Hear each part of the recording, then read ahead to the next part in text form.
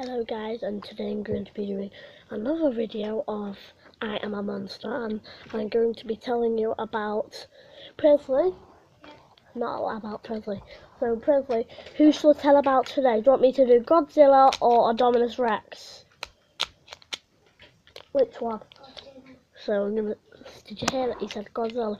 So I'll tell you about Godzilla. So Godzilla, some people say on the film he attack is in New York City and he has babies, but his babies die, so he's angry at the first people he's seen after his babies died.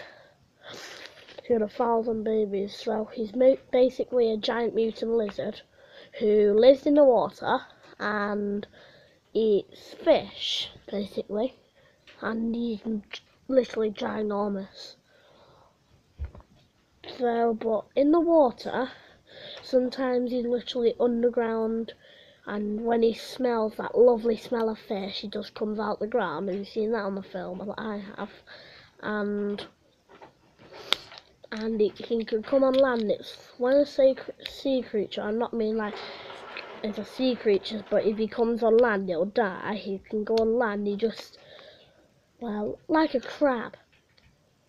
No, no, no, like uh, a sort of like a crocodile, yeah. Friendly, that's a good suggestion. So that's something about Godzilla. That's about Godzilla.